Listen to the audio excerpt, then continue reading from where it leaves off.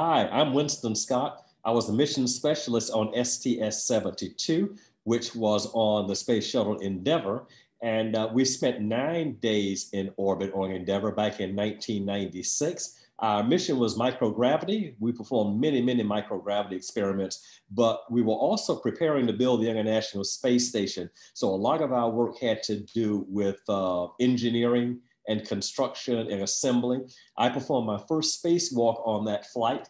And uh, during that spacewalk, again, we tested many tools, techniques, and equipment to build the International Space Station.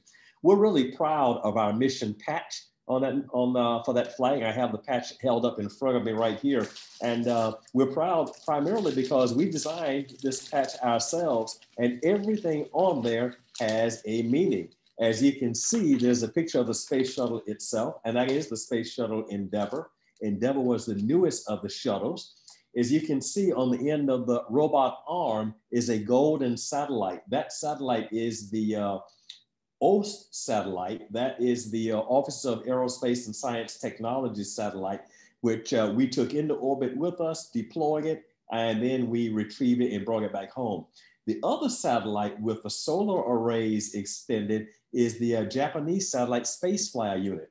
That satellite had been launched from Japan one year earlier. Our job was to go up and retrieve that satellite, uh, put it into the payload bay and bring it back home.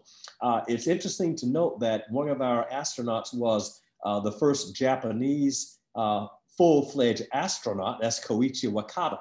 And Koichi's job, of course, was to operate the robot arm and grab the Space Flyer unit.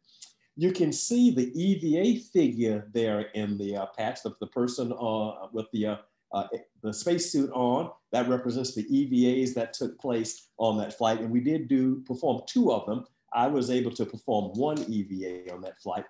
Around the perimeter of the uh, patch, uh, the crew members' names, of course. Uh, Brian Duffy was our commander. Brent Jett was our pilot. Uh, Leroy Chiao was mission specialist uh, one. I was mission specialist two. Dan Barry was mission specialist three.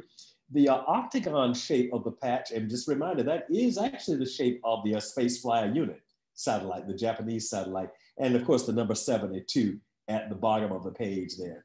Uh, you can see the uh, Earth in the background there, and you can see the gold stars the stars represent the locations on Earth from which each one of our crew members came from. So if you look, there's a cluster of stars down in mid to South Florida. That's because I'm from Miami. Dan Barry had a connection with Miami. Brent Jett also had a connection with Miami. If you look all the way to the left, you see the island, the uh, nation of Japan there. There's a star. That's Koichi Wakata. So anyway, the, the gold stars on the earth in the background represent the place from which we all came. So again, we're really proud of this, uh, this patch.